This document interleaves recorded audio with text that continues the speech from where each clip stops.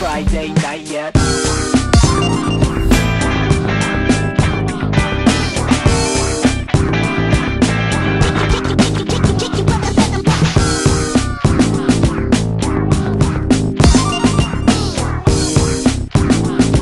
Three, two, one, go!